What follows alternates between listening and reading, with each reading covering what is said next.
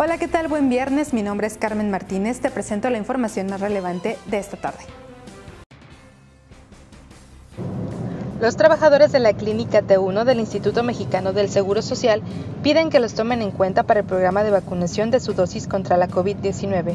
Médicos, camilleros, enfermeros y personal de intendencia forman parte de todo el personal de la clínica que no han sido inmunizados.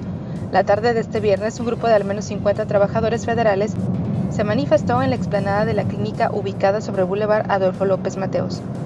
Personal de seguridad privada del IMSS restringió el acceso a la prensa y minutos después de la una de la tarde de este viernes, personal médico comenzó a manifestarse con cartulinas en mano. La Secretaría de Seguridad Pública de León informó que uno de sus elementos murió en un incidente fortuito durante un entrenamiento táctico.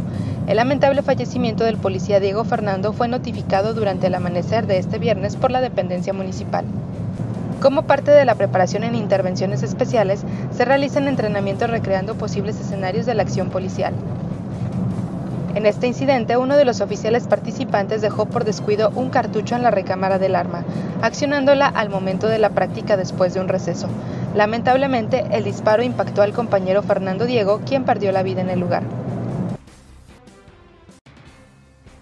Ante la situación de las fosas en la entidad, el Procurador de Derechos Humanos de Guanajuato, Vicente Esqueda Méndez, argumenta que dentro de sus actividades el organismo no tendría que acompañar a las víctimas de desaparición en campo, pero lo hará.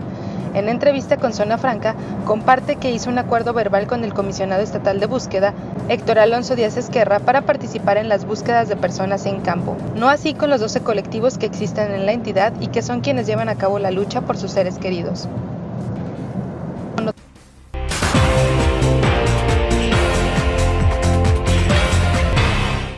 Pendiente de todo nuestro contenido en zonafranca.mx. No te olvides de seguirnos en nuestras redes sociales y más tarde ver el bloque informativo que te presenta Bani Jaramillo.